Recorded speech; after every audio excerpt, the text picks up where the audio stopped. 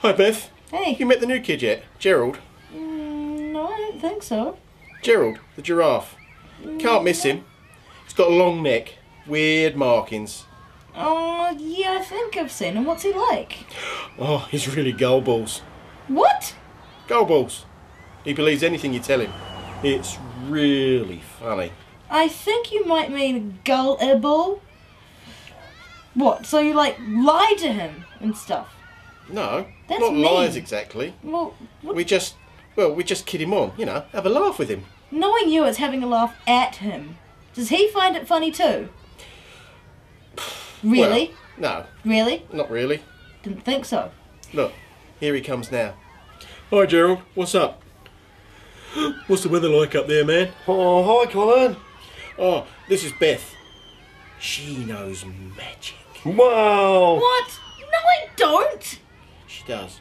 She doesn't like to brag about it, though. That's amazing. Can you do tricks and stuff? No, no, I can't.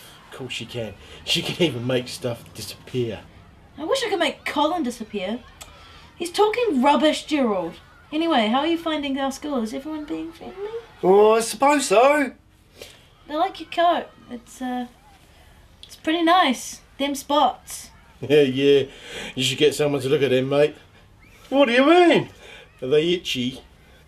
Looks as if you got uh, Spotula dangerificus. it's a rare Spanish skin disease, mate. it's pretty serious, you know. But all my family have got it. Yep, it's hereditary. Runs in the family.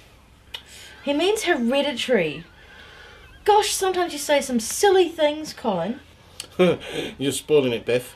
I'm off to trick little kids now into giving me their chips. I'll say they're poisonous or something.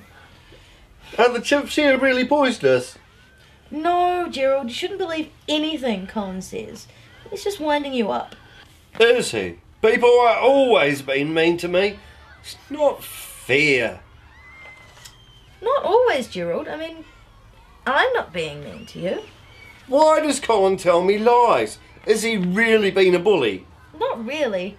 Some people don't know the difference between funny and silly. And chances are he's probably trying to be friends with you. He's got a funny way of making friends. Well, sometimes he can be funny. Sometimes. But other times he doesn't really know when to stop. I mean, there's plenty of other good things going on around you that you can focus on. Cheer up, Gerald. Only you can change the way you're feeling. Some people kid you on, think they're funny but they're wrong. Play silly tricks on you, just what they do, do, do. You can take it in your stride, or you can run away and hide. In the end, it's up to you, just what you do, do, do. Do, do, do. Do, do, do. Do, do, do. If things don't go your way, that's alright, you'll be okay. No use feeling sad and blue. Think what you do, do, do. Everybody gets stressed out. No need to scream and shout. Challenges are nothing new. Lots we can do, do, do. Do, do, do. Do, do, do.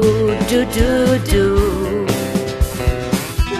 If you've given up on hope, don't worry, you can go to think of things in